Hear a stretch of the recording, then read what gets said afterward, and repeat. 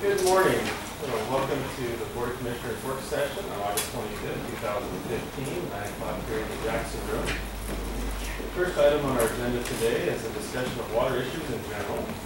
What we will be uh, discussing, and including but not limited to, uh, dams, conservation, uh, conservation Oregon place-based planning in the Rogue Valley.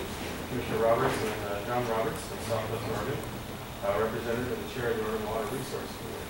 So Commissioner Roberts is bringing the uh, item to the agenda today, and Commissioner John Roberts from the Oregon Water Resources uh, Commission is here today also. I want to recognize Commissioner Roberts for being here. Would you like me to? I would like to ask uh, John- uh, Commissioner if you would come to the table also, and uh, Larry, come here. Sure. If you would, please. Larry is our regional water resource for the state, water master. Well, Actually, our regional manager, John Scully, is your local water master for Jackson County. And I have. What I'd like to do But first. before we get started, Go ahead. um, I just want to invite you to the table, and this is Commissioner Roberts' discussion. I think she wants to talk about some other issues before we get into the other. Okay, good. I'll- That's okay, good. If you I want want to to hand hand it out, out. I, I'm not sure, I I gave one to Commissioner Breidenthal, and the other commissioners, and, uh, Thank you. do not have one, I think it's good reference material. Of you. So I, I do thank you finally. It's been five weeks waiting for this meeting, and my, my request was to talk about the dam removals. And, um, I'm concerned about them. I know there's more on, on our horizon, and, uh, my constituents are concerned about the dam removals, and I didn't want to just turn a blind eye to what's going on. And so I know uh, Commissioner Breidenthal had asked John Roberts, and I will defer to the experts if you want to do your presentation, and then I will follow up with, with my comments on the. This is, uh, this is your moment, you, how you want to. What was it, did you want to talk about water in general? I'm not sure what, I will, whenever you're ready, it go ahead. Well, I, uh, thank you for inviting me today. Um, This stems from a meeting that I had with uh, Commissioner Breidenthal about uh, just getting up to date on the integrated water resource strategy and place-based planning opportunity uh, that we have. Uh, I wanted to get started by getting everybody on the same page here. Uh, Many of you in the room have no doubt seen the, the Oregon Basin Outlook Report. The last one I have, uh, shows that, uh, our snowpack this year was the lowest on record for thirty-five years, about six, seven percent of normal, something on that order. So we're, we're, Larry and Travis can, can give you more details there. I also would pass around the table, uh, this, uh, drought report, which, uh, again, no surprises, but it shows you what is out there, what we're dealing with right now in the water world. Um, Excuse me, I that? Um, But it, it, it just shows you that we have an ongoing problem here, and, uh, the, Water Resources Department and the Commission are doing their best to, to, uh, to deal with something that we, we don't have much of. And Then, uh, quickly, you know, I, I ran the, what we call the teacup report that, uh, you're familiar with, that, that's showing that, and Travis deals with this every day, you know, Howard Prairie is down around twenty percent full, Howard Prairie, four, uh, Hyatt fourteen percent full, Emigrant thirty.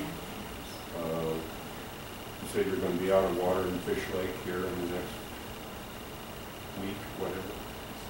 Yeah, I think that's. uh, Somewhere near easy in fourteen planning percent that. full, something on that order, so.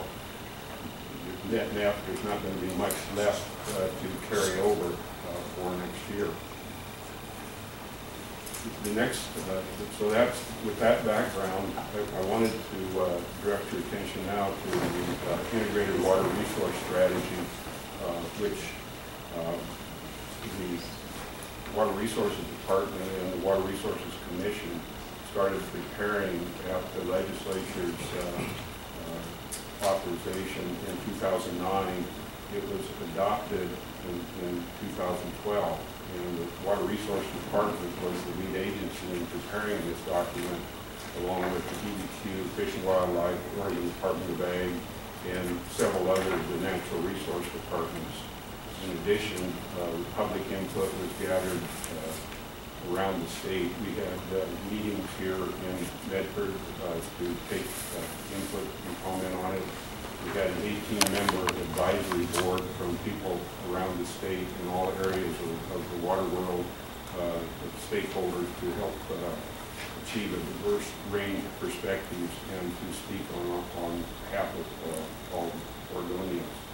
Uh, This document was approved by the Water Resource Commission in August uh, 2nd of 2012, and uh, the- the the vision is to develop a statewide integrated water resource strategy, which we, Oregon does not have, uh, that will bring various sectors of interest together uh, to work toward a common purpose of maintaining healthy water resources to meet the needs of Oregonians. So with that, um, you, when you look through this uh, book, you'll find that there are four primary objectives. And the chapter in, in this integrated water resource strategy is devoted to each one. The first one is to understand Oregon's water resources today. The second is to understand in-stream and out-of-stream needs. The third is understand the coming pressures that affect our needs and supplies. And then the fourth is to meet Oregon's in-stream and out-of-stream needs. And within these four objectives, 15 critical issues were identified with 42 recommended actions. And the legislature has requested that this document be updated every five years, so the next iteration will be in 2017. uh, And we will take advantage of lessons learned during this, this first implementation to uh, continue the development of this document. So it's, it's a dynamic one, and we'll continue to uh, work and improve. My discussion today is on uh, recommended actions nine A and nine B, which is to undertake place-based integrated water resource planning and to coordinate the implementation of existing natural resource plans. And you'll find this on page eighty to eighty-two in this document.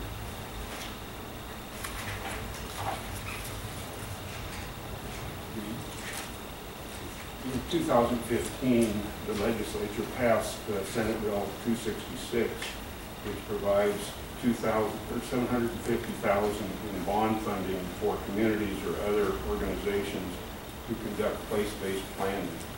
And this is uh, an effort that we realize that each basin in the state is unique and that we, we want local uh, people to do the planning for their water requirements and not just try and do it at the state level. So the legislature uh, provided some funding for this effort, uh, $750,000. And we think that that will uh, cover three pilot projects uh, around the state, three different basins, where we can kind of get started on this process. And as we're fortunate in that we recently, the four watershed councils came together here, uh, Bear Creek, uh, Middle Rogue, Dakota Butte, and Upper Rogue to to form the, the uh, Rogue River Watershed Council. That in turn is part of a bigger group that covers from Gold Beach on up through Bear Creek Basin, up through uh, Little Butte, and the Upper Rogue, called the Rogue Basin Partnership. And They are, are studying this and working on getting everything together so they can apply for one of these grants. And the uh, commission will probably finalize the rulemaking on these grants and the the criteria in November at our meeting. And then uh, the grants will be accepted and probably uh, uh, approved in in February, March, somewhere in that period. So what I'm asking for today is first, uh, your, take a look at this, see if the, uh, the county commissioners can, would be supportive of this effort to do place-based planning in the Rogue basin. It would, it would start at Gold Beach and would work its way all the way through, uh, the whole river system here. So I think, uh, your endorsement would be highly beneficial. Uh, we, I've talked to Simon Hare over in Josephine County, and, and he is very, much in agreement with the effort. And the soil water conservation districts from here to the coast are all in favor and supporting. Also, uh, DEQ and so forth. So uh, with that, I I try and answer any questions you have.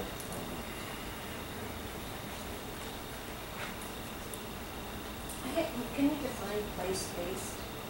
It's, you know, place-based planning means that instead of a big broad brush, that we, we look at the, the unique situation, the features uh, of a particular basin. We're a lot different than, say, uh, the uh, Columbia River Basin, uh, as far as uh, our, our capacity to store water, our, you know, with water is different. And so it, it's an effort to narrow down the focus to a particular basin. Because there are basin plans that now, uh, done back in the seventies, for Rogue had one, probably half the basins in Oregon had an original plan. And now, uh, of course, those are, need to be updated, they haven't been since the seventies. So it's, it's time to deal with the, the cards we've got now. It's essentially.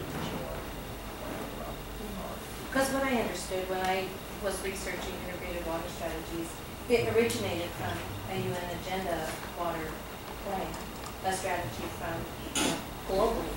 And how do you integrate that with place-based?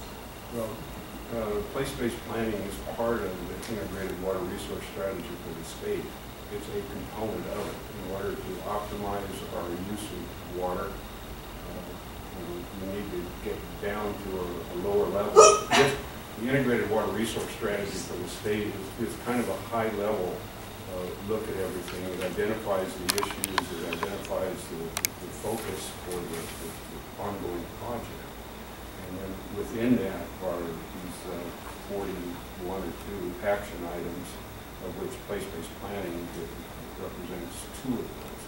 So the Water Resources Department, with the commission and the legislature support, has been working on you know, taking these forty action items, taking, working on them as opportunities permitted. So they probably are working on at least twenty of them right now.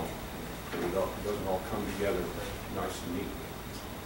It kind of rolls through. So at this point, with the legislature's support, we're, we're ready to start on place-based planning.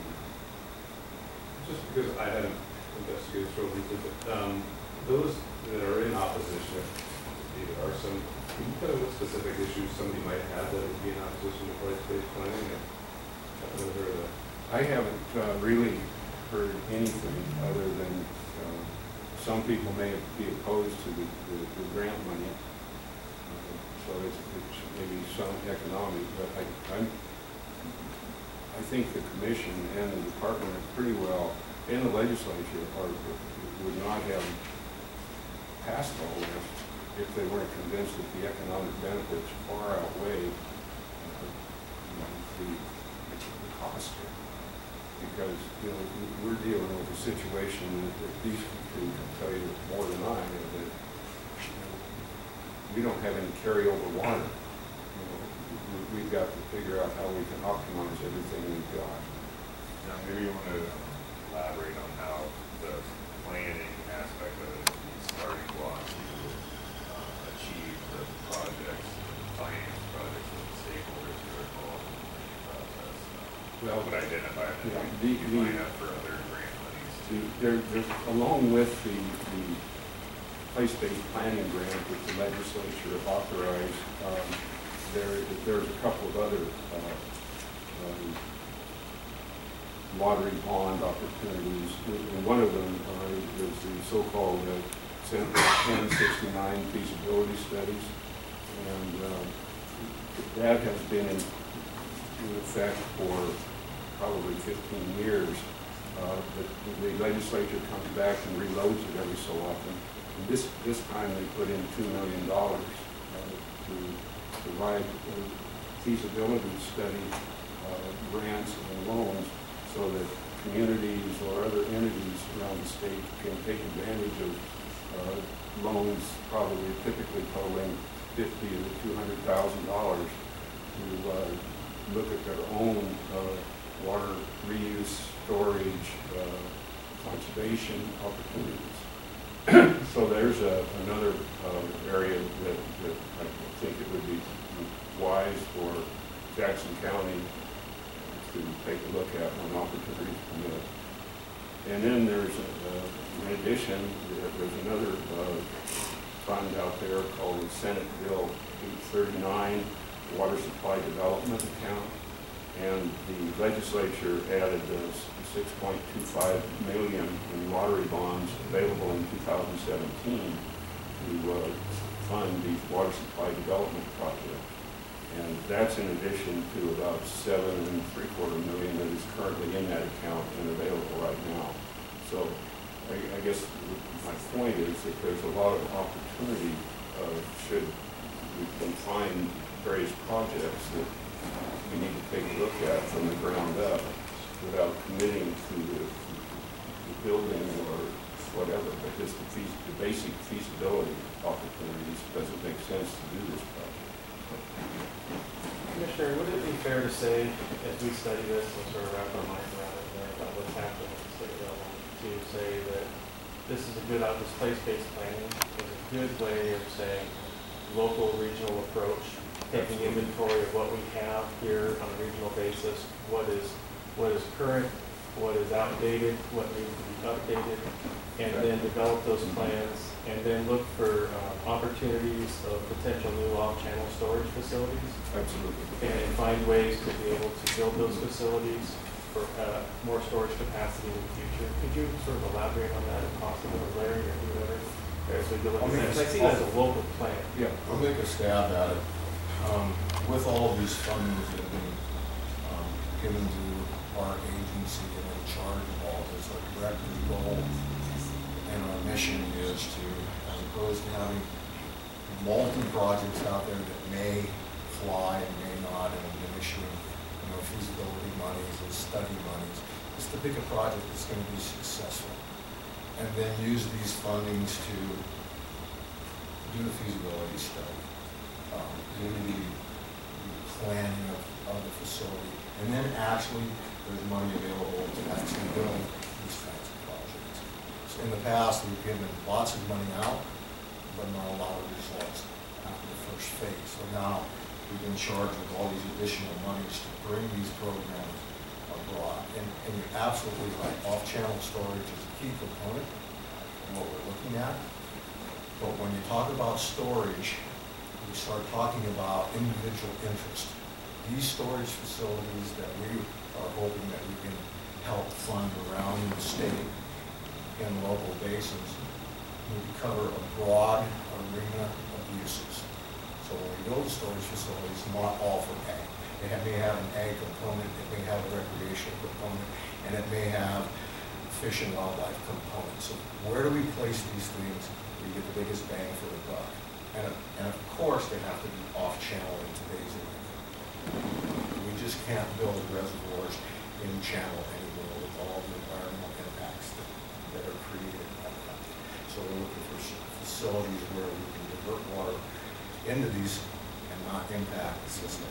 Would those off-channel storage facilities have opportunity for hydroelectric Absolutely. and being able to produce power to make the, the the local communities? Yes, of going back to the area. Especially with the technology that they have now. Yeah, I think in-stream hydro is, very realistic now, where you can put small hydropower plants in where opportunities permit, such as perhaps Bradshaw Rock or something like that. Um,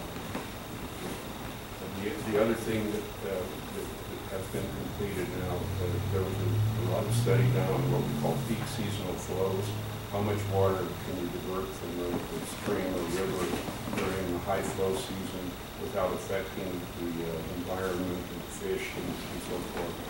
So those have been determined uh, as a percent of flow, so that we can now take that water and move it into off-stream storage if there is a site, and then take advantage of it later in the year. So all the pieces are coming together now to support better utilization of the water. And as John mentioned, if you go to the original River Basin Plan, which is outdated, it's old, but it had a list of potential storage facilities. At that time, those were in check. Uh, example would be Evans Creek drainage. They wanted to build a reservoir at the top of that drainage to help augment flows like we do with Lost Creek and Applegate. Well, those are kind of off the table now because environmentally, you can't build those kind of facilities. You just can't get the support.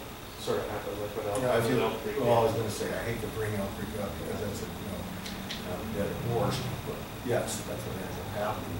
But is there somewhere there we could build a facility and pick up these peak flows, as he's talking about, store that water, and then utilize it for all the needs necessary? Right now in the drought, Evans Creek is producing less than a half a CFS. It's virtually mud puddles right now. Okay, and we have quite a bit of ag there. We've got water rights to go back to eighty-one on that system, they're the only ones pumping, and they aren't able to pump. This is a pretty severe drought that we've been in. Fairly unique in the twenty-five years I've been dealing with water. We've always had some form of snowpack, and so the recharge, the slow recharge is just not happening. The streams alive, so when they win, they're just gone. So to to circle back on what John was mentioning, the intent of the place-based plan is to bring all the stakeholders to the table to identify the issues that are in their mind managing water, and have that spectrum of local input to identify the potential sites of, of moving forward to address our water supply needs. And so once the plan has been created, then it allows you to leverage that local support into state dollars to study the feasibility of the project and then hopefully construct said project. That's kind of like the bullet points if you were to boil the, all the, the wonderful acronyms of integrated water resource strategy and all the other senate bills now. And, we have one big project already here in this county, and that's Wise, that fits in these categories. yeah. You know, and obviously the county has been supporting that for quite some time.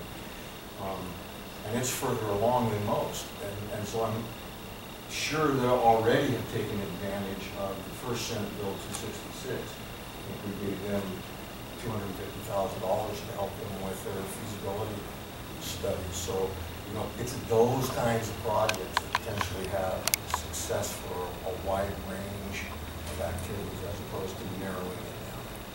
The, this Rogue basin partnership that was formed beginning January first this year, I think really uh, is what is the missing link, pulling everybody together, because it's a a diverse group, all with interest in, in water and water resources, environmental, agriculture, and so forth, that, that I think has the potential, my opinion, that with assistance from others outside uh, to pull off uh, uh, a successful place-based planning effort. Because you would have somebody, you know, they're managing full-time, near full-time, and uh, pull all the pieces together. And I think that, in my opinion at least, is what's been lacking down here, is we've got a lot of well-meaning, hard-working organizations, but they're not, they didn't until now come together to kind of share ideas and, and get a focus here to, to make this uh, work. So, John, this is probably a little late, this maybe how you normally might do it, but I think it might be, know Doug knows a little bit about your background here in the valley. I, I know about some of the people, I don't think Mr. Dyer, and Mr. Roberts know that much about you. okay. And also maybe you could explain your role working with the commission, that you're not a state employee, that you're a local citizen. Talk about your history in the valley, the reason, you know, the work you've done in the valley, that isn't related to anything to do with government, and those types of things. I think it'd be important to know your perspective. Okay, well, at the risk of boring you, uh, you know, I uh, came here in late nineteen sixty-nine. I grew up in Klamath Falls on a ranch over there. And uh, I then uh, went to Oregon State, majored in food science and technology, uh, was in ROTC, uh, went in the Air Force, and uh, flew B-52s for five years in in Vietnam and around. And uh, when I got out in uh, late sixty-nine, uh, the job I chose was at Harry and David. I started as a food processing manager, eventually ended up as a senior vice president there. Uh, Retired after thirty-three years in two thousand eight. And uh, that July uh, from the governor saying, would I be interested in uh, representing the Water Resource Commission in Southwest Oregon? And uh, one thing led to another. uh, About three years ago now, I was asked by the governor to chair the commission. So that's my, my brief history here. But You sell yourself short a little bit of Harry and David. You ran the agricultural operations piece for how long? So you understand how important the the water Well. I was, I've been involved in the ag side at Harry and David and, and and actually responsible for the worldwide fruit sourcing for all the gift packing. And you live here, And I live in Jackson. And you're a citizen volunteer. Yeah, yeah, yeah. No uh, elected government experience, I just got caught up in it. Well, I, I would like to know on your, on the Oregon, the integrated resource strategy and the place-based planning, how, I mean, we're gonna talk about dam removals, how do, what, how do you interact with the dam removal situation in Jackson County? And my other question is, um, on, you're looking to build water infrastructure, not necessarily protect infrastructure. Does that gonna possibly be involved with eminent domain issues? You know, I can't answer that, that second question. Okay. On eminent domain, I, we don't get down in the weeds that far. Um, But what, what I'm looking at, the the commission is looking at in, in the water resource department is opportunities that make sense to improve our water supply uh, without affecting the ecosystem and, and other areas that, uh, that we, we want to continue to improve also. So we, we've got to look at uh, what is effective use of the money to create storage opportunities off-stream. uh, And uh, we- we, you know, we've got some dams in Jackson County particularly that are outdated. They they perhaps were useful at one point for irrigation or impoundment, but they're, they're barriers and they're not collecting water significantly now. And they, they really, uh, you know, if you look at Savage Rapids, it created a nice lake for people living right along there. But it was a huge barrier with fish passage and, uh, you know, the natural flow of the river. So, you know, we we mitigated the removal of that dam with pumps to uh, enable the, the people with water rights to continue to get water. Um, You know, but it, it's an effort to, to modernize, update our infrastructure. Uh, and no doubt that, that will affect some people that enjoy the, you know, a nice water view perhaps. Now they'll have a stream, but the- there's, the economic value of those impoundments uh, has ceased to, to be. Maybe I can add something to it too. First of all, Water Resources Department wasn't the instigator in removing those facilities. It was a combination of multi-agencies, multi-environmental groups. But what you need to understand about those facilities that have been removed, there's only one facility that's been removed, or never completed, is a better word, and that's Elk Creek that had storage. These facilities that you're talking about that have been removed along the river never had a storage component. They were diversion dams. They were built to divert water either for power and energy and irrigation. They had no legal right to store water, and they weren't designed to store water. And if you really look at the big picture, they were silted in to where the storage capacity was nothing. All they did was back up water. Okay, and so they had a more negative impact to the river system than removing something like Elk Creek that was going to store 250,000 acre feet of water or 60,000 acre feet. You know, right now Lost Creek Reservoir stores 360,000 acre feet of water. That's a lot of water that's carried this river through this drought. We've dipped into the carryover to maintain flow for fish, for recreation, all of the above. Those dams don't provide water. They were blockages to hold water back and divert into a canal or a power system. So when we say removing storage facilities, those were not storage facilities. Unfortunately, the only one we know of that would have stored additional water would have been, And that kind of was a unilateral Yes. action by the Army Corps of Engineers. Absolutely. Right.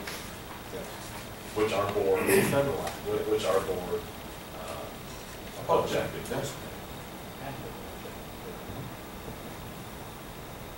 Yeah, and again, that was a federal mandate that came out. Let, let me just correct something. Sure. It actually wasn't a federal mandate.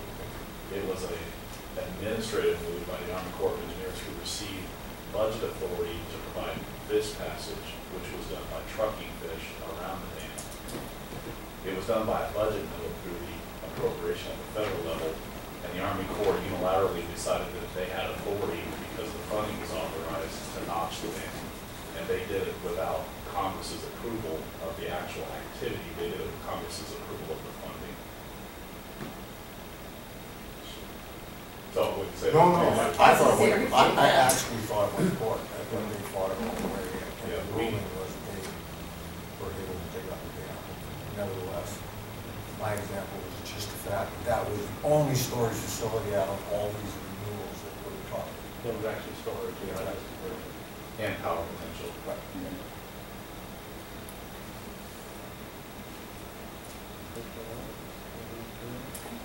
Well, I appreciate the, the opportunity to meet with you, and uh, when the time comes, and we continue to, if, if the group continues to pursue this grant, uh, we'll we'll come and, and talk again and, and see if you're ready to support it. But I think your, your support behind the place-based planning grant request would, would mean a lot. Thank you very much. Okay. Really appreciate it. And if you would, you know, maybe we might have some questions and move into the next half of this. Sure, we'll stick around. Yeah, we can do that. Stick around, for a while. Appreciate that. And I'm really interested in the, the off-channel uh, storage potential. The creation of new storage, water storage for hydroelectric, uh, renewable, real renewable energy. It is a- an exciting opportunity for the town of Marion to adopt. You know, I think that's one of the things that this place-based planning will identify. Thank you very much. Thank you. Okay, so I had asked for a discussion on the dam removals, um, and since I re- made my request to, that were removed, that um, the expert said the storage capacity was nothing, that's Fielder Dam and Weimer Dam. And um, just briefly, I wanted to discuss, uh, a couple weeks ago, I had written a letter to the governor personally to find out how our dam removals fit with the emergency drought declaration in our county. And um, Commissioner Breidenthal explained that several people had uh, addressed, had called, uh, including Senator Baertschiger and the governor's staff regarding my letter. And I, um, I thought about that after I left the meeting and I was confused about Senator, the senator's call. And I called him and he said, no, I said, did we call you? Did the governor's office call you about my letter? They had, he didn't know about my letter. He had called because I, a citizen had called him, he said at the eleventh hour, to be at the discussion at the dam and it wasn't related to that. And I just wanted that clarified for the record that my letter quite impose a lot of county resources that had been suggested at that meeting. And for clarification, I don't think I referenced as that they called me regarding the dam. I didn't know if the letter. Oh, well, the discussion topic was about my letter, so I just put it together with that, it was, it was Yeah, I- I just involving my letter. In fact, the whole discussion got to be how uh, we need to act united, and um, I, and I was elected to come here and act united. If we need to be united, we just need one commissioner. I'm here to represent the people, the interests of the constituents, who many had called me um, in concern about the mini dam removals. So moving on, um, I have done a lot of independent research, and I have prepared you each- a folder of my, and of my information that I have looked at. It starts, here is at Weimer Dam, I've got pictures, and I have a whole packet of extra copies for any citizen who wants a copy. They, I copied everything, I've given to the commissioners you can have after the meeting. Um, This is the Weimer Dam before, and this is the Weimer Dam after. And, and no, it is, it's not gonna have any capacity to store water now. It, uh, in my opinion, it did, before it was not, it was, before it was removed.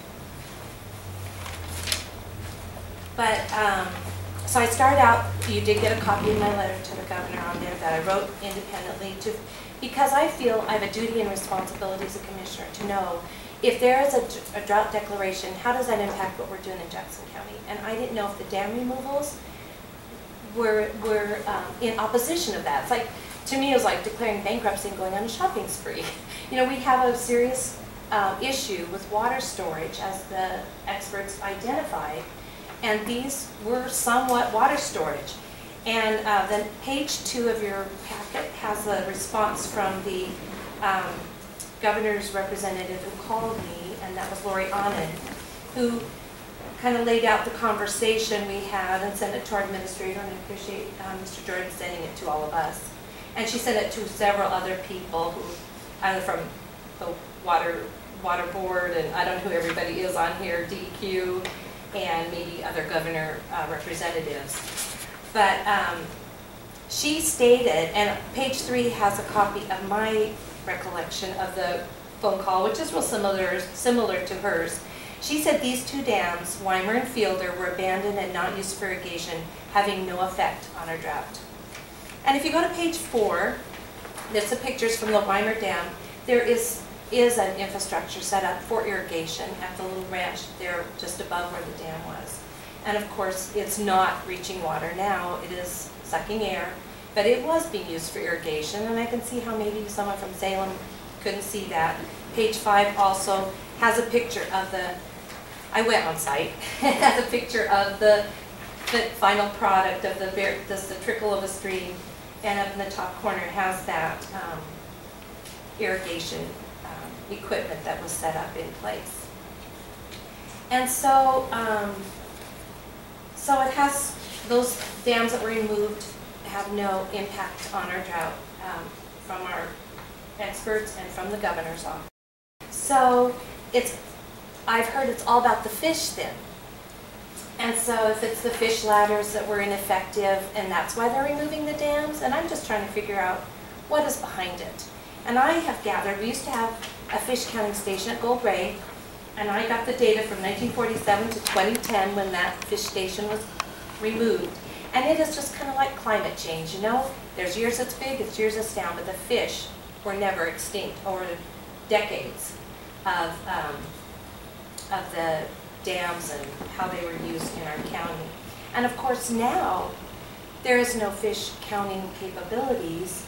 There will be no accountability, there's not going to be a record to see if the fish has been improved from the passage of these dam, dams removed. And so, you know, I'm not sure how, how they're, who's going to show what they did was indeed uh, accomplishing what they said.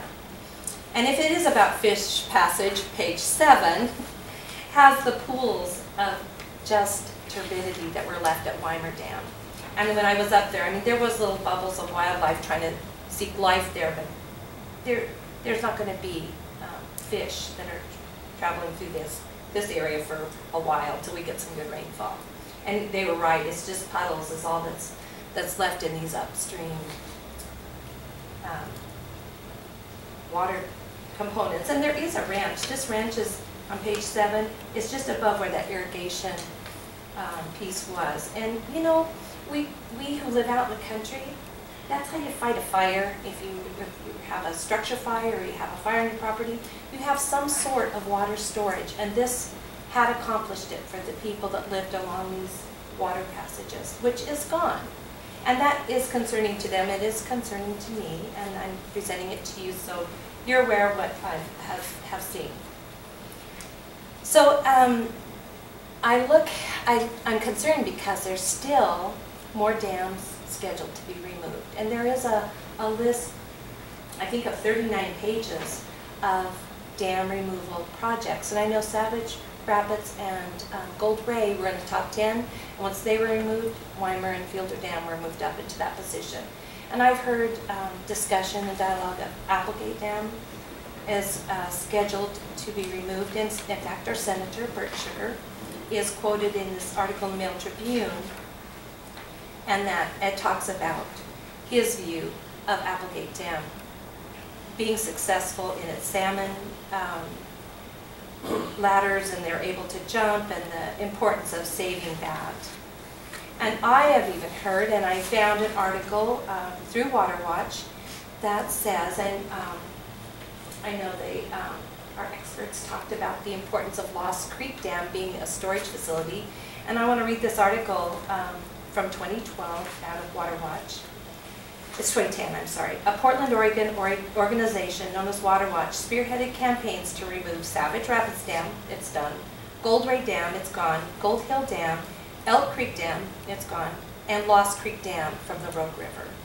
And I just want to, I just hope we as a, as a commission board are aware of this, and I, and I want to stand unified against this kind of action, if there's anything we can do to save that. I think our, it, we do owe it to our county, and we owe it to the citizens that, um, are served by that water storage.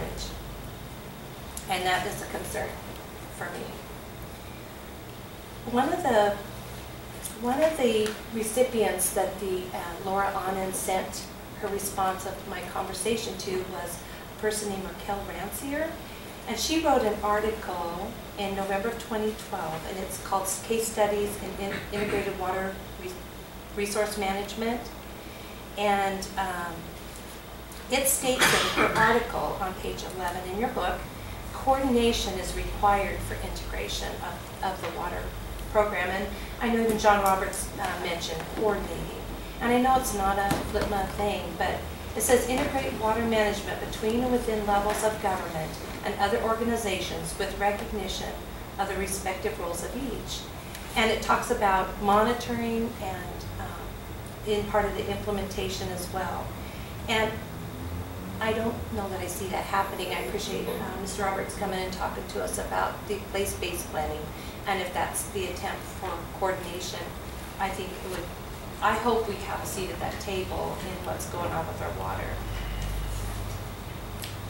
Um, There's more information on, in the following pages that talk about the UN Water Task Force and Integrated Water Resource Management Team and anything with the UN Agenda 21 is, and that's from his uh, 2012 article, there's just highlighted parts. And that also has a copy of the Water Watch's um, campaign to remove uh, also Lost Creek Dam from the Rogue River in there. So on the next page, which is 12 on your book, trying to have a lot of material to get together. Oregon Water Resources Department, it's through um, oregon.gov, it's a biennial report, and it talks about the Rogue River Basin, and, and there's a section called dam removal.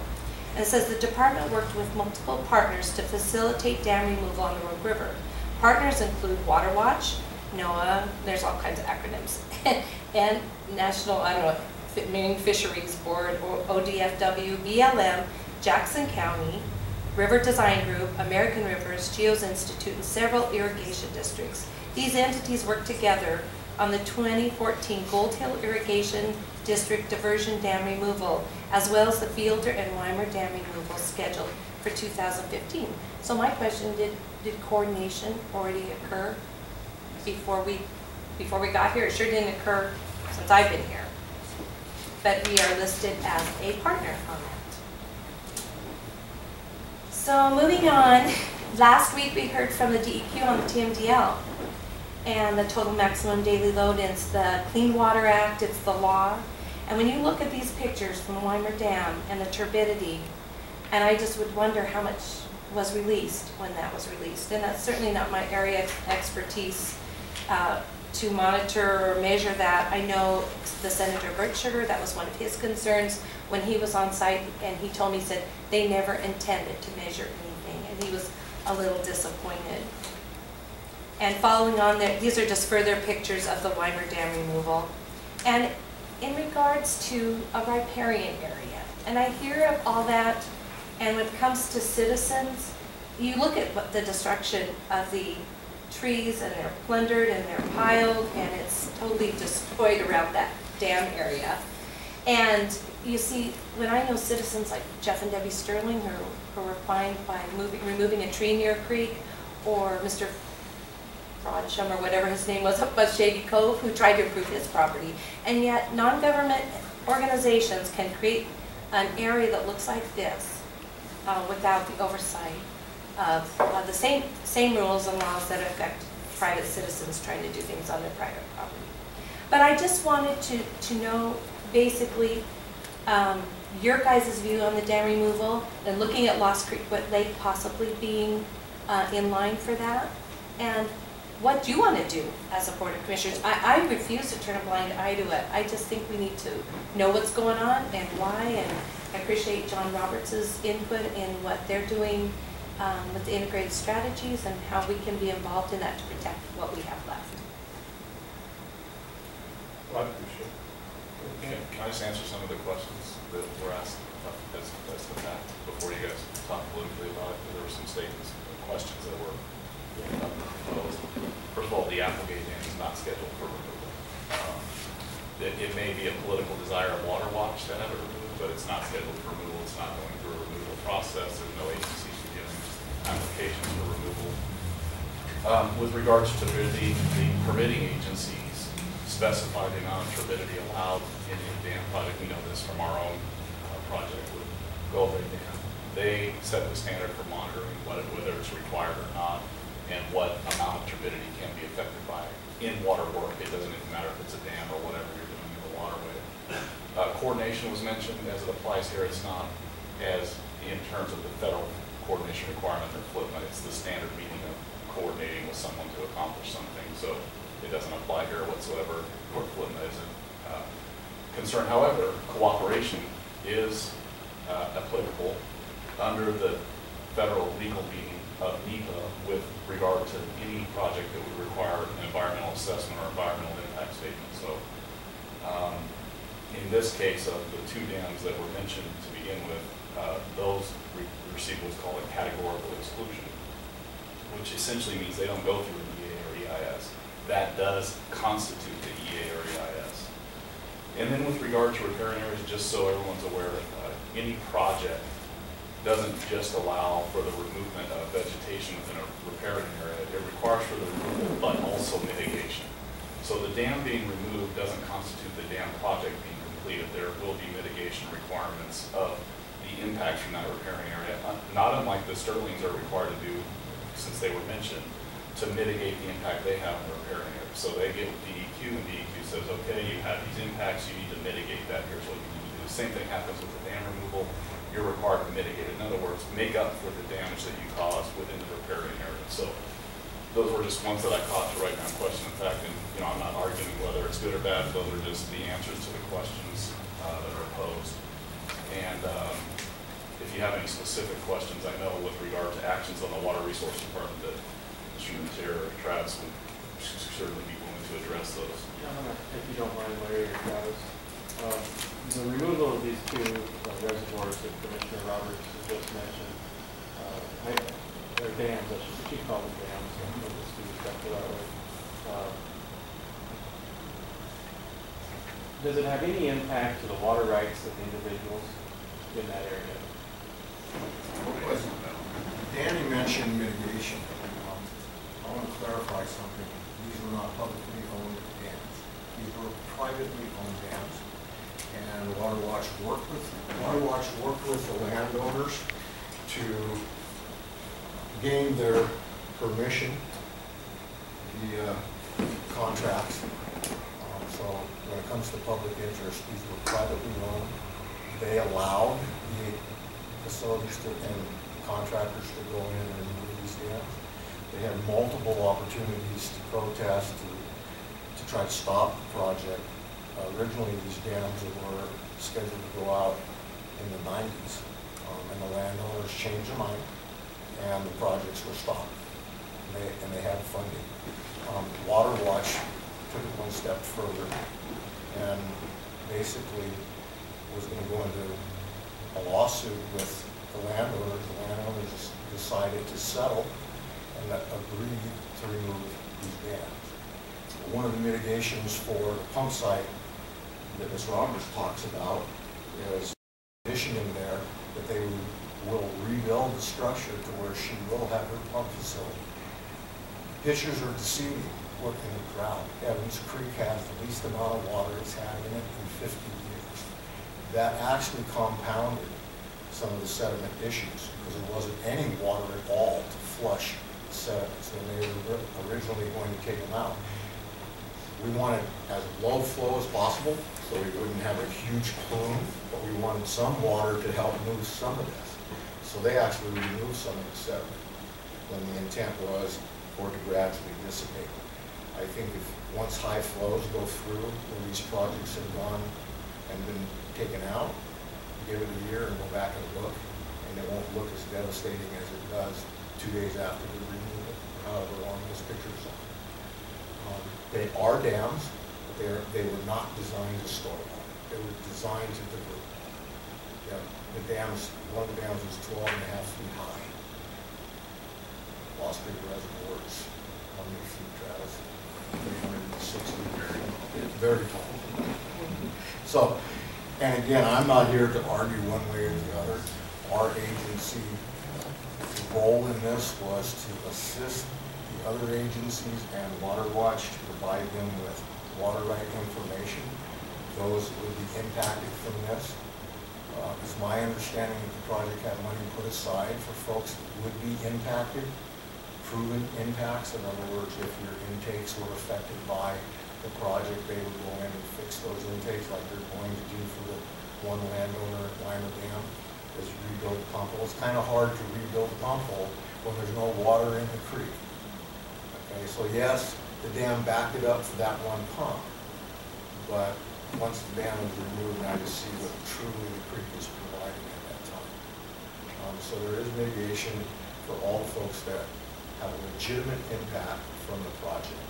So prior to the dams being removed, the studies that were made identified those folks upstream or downstream within a certain reach that may be impacted. There's money put aside to help those folks extend their intakes, provide fish screenings, whatever they need. Um, And again, that's not my agency's responsibility, that's the Water Watch and, and Brian Barr's organization that was lead contract or lead uh, project manager. Um, And you are subject, I mean, kind of the, Commissioner Roberts brought up that the government can do what the private individuals can. The government's actually subject to the exact same consequences as the private individuals are. There's no, there's no difference in treatment. For example, if we didn't meet our mitigation plan, we can, we can suffer penalties and civil actions just like a private landowner can. Um, And we were required to provide mitigation in the riparian area. Um, And we were required to actually create structures from the Bear Creek confluence to uh, further uh, deter any erosion of that confluence back up the confluence. So we were required to actually build structures. They were natural structures, you know, posting and barriers to mitigate multiple impacts that the removal of the dam caused. Whether you're a private citizen or public, you know, public agency, the same rules apply. NEPA applies, whether you get a categorical exclusion or not. I mean, I- to be honest with you, when we did our project, I would have loved if we could have got a categorical exclusion, but obviously Gold Ray is much more of an impact than Fielder or Weimer Dam in terms of removal. So um, there is no difference in treatment in terms of. In terms of coordinating, as I mentioned, it wasn't a- an issue of federal coordination or flip, it was an issue of working with someone to accomplish something. They, they did, and they work with the county, they work with, you know, Oregon Water Resources Department works with all, you know, the Watershed Council, for example, which comes and reports to the board, that's working with the county. And they work for our planning department to acquire the proper permits for work in a floodplain. There is this misnomer that the county uh, approved the dam removal. The county didn't approve the dam removal. We don't approve dam removals. What we approve is you can work in the floodplain for the permit you receive from a federal regulatory agency to remove the dam. So we don't, We don't say whether you can remove the dam or not, we say that you can work in the floodplain or not. We do that because of your ordinance. That's also coordinating with you via your, your ordinance, which says, with regard to dam removal, if you're working, uh, if you're gonna divert the course of the river and or working on a fish enhancement project, this is what's in your ordinance, then you have to come and get a floodplain permit for that. So there are multiple levels where both of those projects and any dam removal project does co- coordinate, not under the flippant term of coordination, but in terms of working through county processes and county agencies that advise you.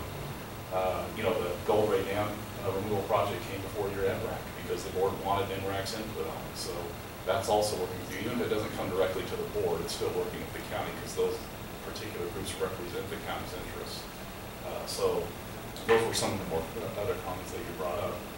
Similar to the process of the um, place-based planning, where you're, you know, this is going to be a lot of work at the watershed council level. And I would, would suggest at the county's level that, you know, the board refer, if you choose to support that project, that process, that you have your NRAC involved in that process as well. They work closely with your water, the watershed councils in the past.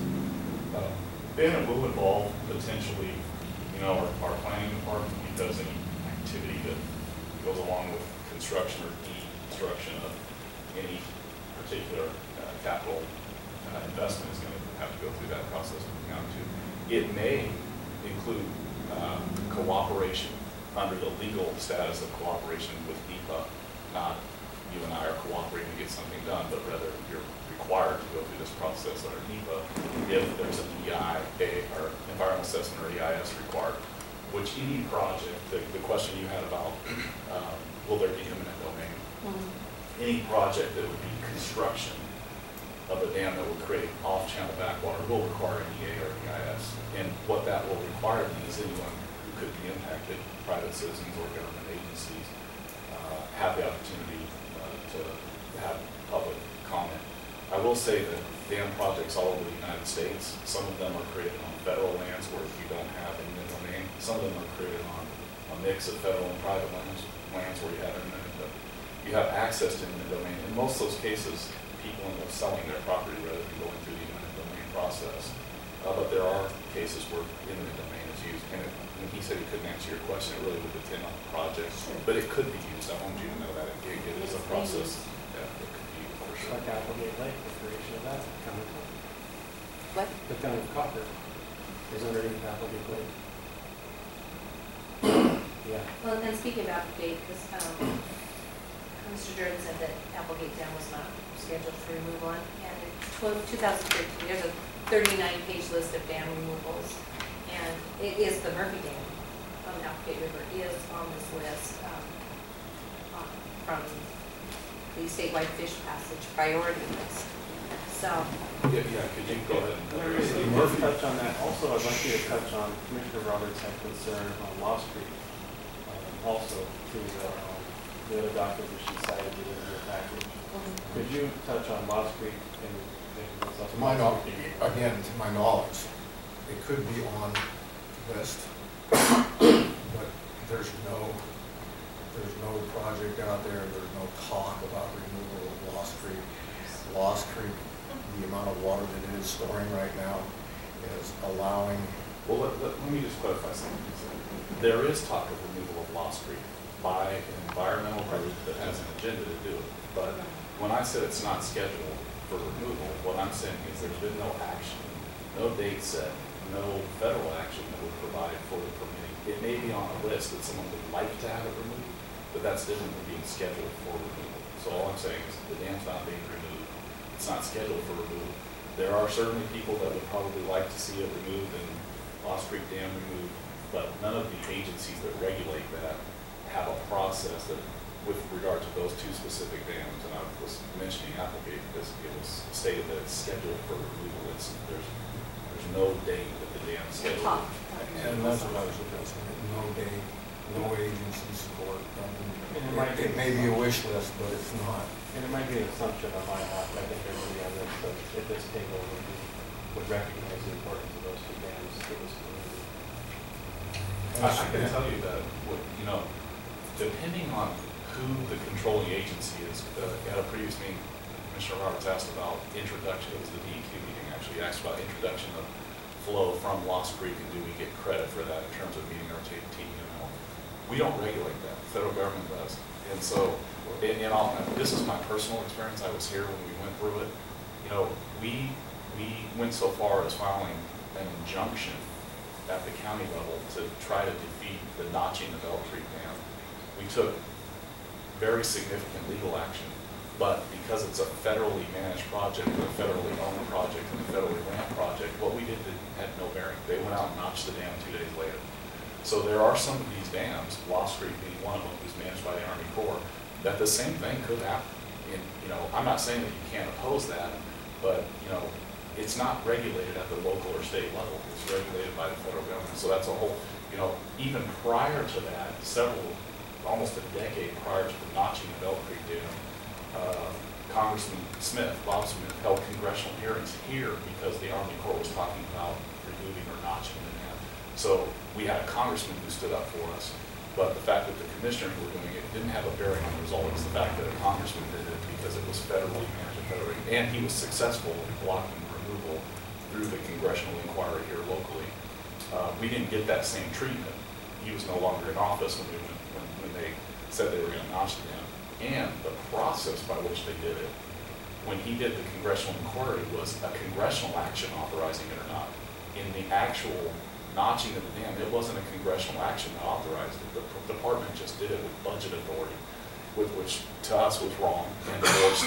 And I do want you all to know, since I've been here nine years and been through multiple, you know, we removed Gold Ray Dam and we fought the removal of the notching of Elk Creek Dam and we dealt, we dealt in and out of dams. Each case where it's been a public, publicly owned, we, we haven't had a case where we've had private, in this case, Fielder and liner dams that are private, held in private property, uh, where the board has, has taken action because in the past, the, the fact that it's a private property right has superseded the board's political position on whether or not they agree with dam removal. They defer to the fact this is private property and they have the right to do what they want. You may or may not do that, but that's been what's happened in the past.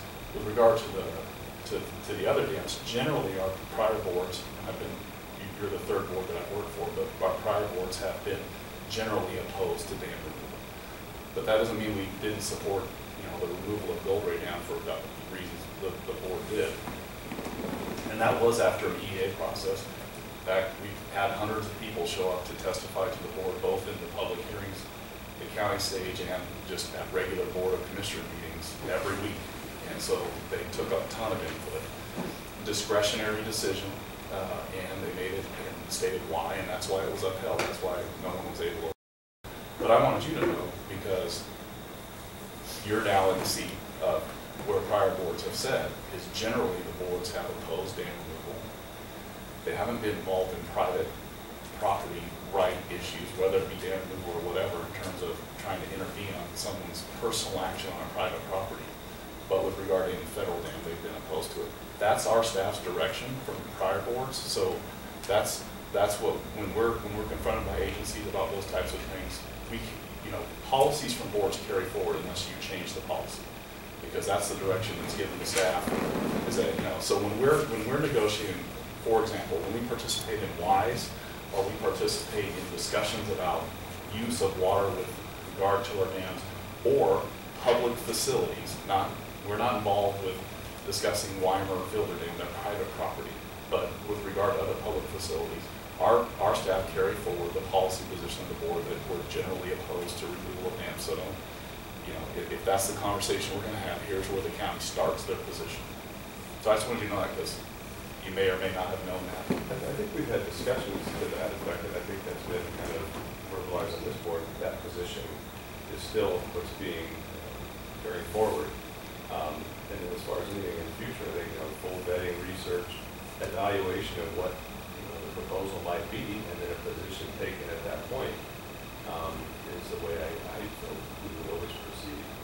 Uh, But as far as just the general position of the board, I, I, saying, I thought we've had a discussion, or at least alluded to it, and we expressed that that position is what we wanted to continue and carry forward with, that we do generally oppose um, dam removals, but I, of course, always want to retain the right to evaluate the the specific situation. Um, it- And I appreciate the research you've done, because that's part of that evaluation process, and hopefully that's done. And and the information we get from any source, uh, but always to evaluate it on an individual basis. Uh, So, conceptual Let, let me say what I think is most important here. If, if, if if the prior board's position stands general, the difference with this, with Commissioner Roberts' request and the conversation you're having is these two privately lands. So I want you to understand that typically, I wouldn't direct staff to be involved at any level advocating or opposing the removal of someone's decision on what to do with their private property, however that decision came to be. Now, if you want us to do that, if you want us to use county resources, you can direct that. If that's, if you, and, and that's what the conversation in, in terms of staff, I mean, you have a political position, but your political positions derive, you know, or direct staff towards all the interactions we have on a daily basis in our parks department, our roads department, our uh, water resources, in our um, planning department. So we need to know that. Um, You know, this, this issue, when I, when I, when Commissioner Roberts, I think, was the first one who came and talked to me, I said, oh, well, those are private lands, we don't have anything to do with it besides we'll issue a floodplain permit. We also may have had to issue a permit for people to use the road, which wasn't because they were moving the dam or not, it's because they exceeded a certain weight for potentially the material that would be on a truck that would be traveling on our road. And and I did explain that was also a potential that we may or may not permit. But it didn't matter whether it was, you know, uh, concrete from the dam or uh, you know, some kind of weight that exceeded the, the limit.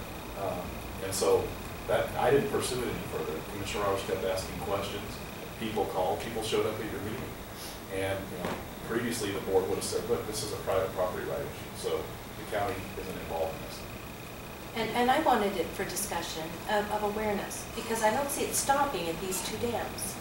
And um, what, whatever's next on the environmentalist movement, um, I just wanted us to be aware and have an open discussion um, of what's going on under our watch in Jackson County. And um, I know they were privately owned and whatever um, duress they were under or, or not to, to do this. I've also seen, and it's another situation, what happened on private property with Gary Harrington. He went to jail. So dam and water storage is, is a big political button in Jackson County for a variety of reasons. And, um, and I, I just wanted us to be aware of it as in our positions in Jackson County. And I would like to read, Craig Tuss has a, he's a fish biologist with RV Cog, which I serve as liaison to. And he said, and this is from 2012, removing dams is still something fairly new in the Pacific Northwest, and each one is different, said Craig Tuss, a fish biologist hired by RV Cog to oversee the project. It's losing an opportunity to gather information that could inform us about future dam removals. Most people assume that removing dams from rivers, such as the Rogue, help restore their natural functions. But, and he's quoted, but we're making a lot of assumptions about removing dams, Tuss said. It's good to have information to back up what your assumptions are. And I want information. So I wrote to the governor, and I, so I did the research at no cost to the county. That's why I made copies for anybody who wants a copy at no cost to the county. And uh, it's important, it's an important issue, and water with our drought is, and private property, I just see a lot of issues that, that are a concern. So I appreciate finally getting to talk about it, because we can't talk privately. So you had, you had one other question on another dam on the Applegate? What was the name of The? Murphy. I don't think that's in Jackson County. I think it's in Jackson. It's, it's up by Key Bridge. so Yeah, it's Yeah. Jackson. The Murphy. Murphy Dam's by the town of Murphy, close to compost. Yeah. That, On that again side of is a Joseph privately County. owned diversion dam. Right, that's right. Um, It says Army Corps of Engineers and Department of Fish and Wildlife on this sheet owns Yeah, it. yeah, the fishing game, you noticed that it was uh, a span that goes completely across the river with no fish passage at all. Um, Very bold. Very similar to push-up dams that they do along the river where they move the gravel beds up. This one just happens to have concrete boards, black disc screen, whatever they can do to block the storage to go down Murphy Ditch. So it's privately owned, very small in height structure. I it's located in Jackson County. No, it's actually Joe County. It's right on the border. You know, it- I, I also agree with that comment that every, every project's gonna be different. Um, I will say, I I do want you to know, you know, with regard to Gold Ray Dam, the county was required to go to an EIA or E, uh, EA or EIS process. And the county's purpose of removing the dam didn't have to do necessarily we thought fish passage would get better or not, or that it would be better for the environment or not. What it had to do was, we were faced with investing somewhere between twelve and twenty million dollars to rebuttress the dam that was failing and building correct fish passage, or using five million dollars to remove it. I mean, honestly, it came down to a financial decision. We had no money. At the time, we were deficit spending at the county seven million dollars a year just in our operating budget. We had no money. We would have went out and borrowed money to, to be able to do it. And we were being provided a grant to remove the dam.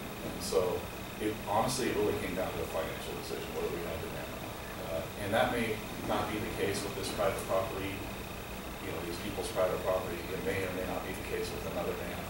You know, I think our board heard a lot about how it would affect people's property to remove the dam, their view sheds and their irrigation and all of those kinds of things. And we did attempt to mitigate all of that, but none of those people were willing to step up and provide twelve to twenty million dollars to keep the dam. They just wanted to benefit from it. And so, you know, the, the argument about we're guessing at a lot of this stuff, we weren't guessing. We knew it would cost us twelve to twenty million bucks or and twelve to twenty million really depended on how we wanted to design, and get the lifespan out of it.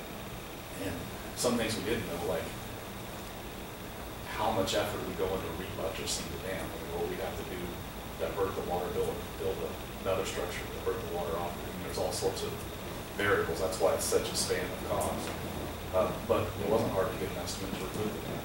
And what was weird is even when you look at the estimate to remove the dam, once we removed the dam, we found out, oh, there's another dam. Oh, and there's another dam in front of that. There was all of this stuff that just happened as we went through the process. So, you know, there are cases, and as I said, where our board agreed with removal of the dam. And in that case, it was a matter of fiduciary issues with being able to pay for it and, what we could or couldn't pay for. I don't disagree that in that case, Water Watch was advocating for the removal of the dam for what they perceived to be uh, fish enhancement and environmental reasons. But all of those things, when it came down to our board's decision, really came down to a financial decision. And I will, I do want to announce the fact that um, September 3rd, the Army Corps of Engineers is having a discussion with the Shady Cove City Council about the collapse of the Lost Creek Dam. And I don't know if it's from natural causes or under Water Watch's authority, but I will go to that meeting and discover what the purpose of, of this uh, public meeting will be. But It is coming in next week. And, and I just want, uh, this board to know, my personal thoughts on, you know, dams are important. We have storage and we have the version that's actually used for agricultural purposes, I think they're important to maintain that infrastructure that we have, and not lose it. But there are times when, uh, maintaining that infrastructure, know, when replacing that infrastructure, those decisions have to be made. And sometimes taking something out to put something in that has more potential in the long run is controversial sometimes, but at the same time has a larger long-term impact on the agricultural uh, portion of our economy and our community, and will actually provide more water in the long run. And, and as it comes to prop, private property rights, I never believed that this board should be involved in any way with private property rights, that would be infringement on those private property rights. Uh, In these, these two cases, I, I see these as a, a decision of those landowners, and they were privately held, privately owned, and they made those decisions. Uh, Government to intrude on that, to me, would be not, not well received. And then it has to be for intrusion, Yeah. just awareness. I understand, I understand. And, but I don't, and if, if you look at dam removals in the future, those that are privately owned, I don't think it would be, just telling people what they can and can't do on their private property is one of the things that I believe is, that we should stay away from. You know, to minimize that effect as much as pos- possible on private property. So if someone owns a dam and they say, I want this out, then it's their, their private property. So I same as if they want to grow wheat, or if they want to grow hay, or if they want to run a tractor to do it versus do it with horses. It's their prerogative. Uh, So I, I see that as a, a fine line sometimes between the infringement of private property any government trees. So I just want to make sure that my personal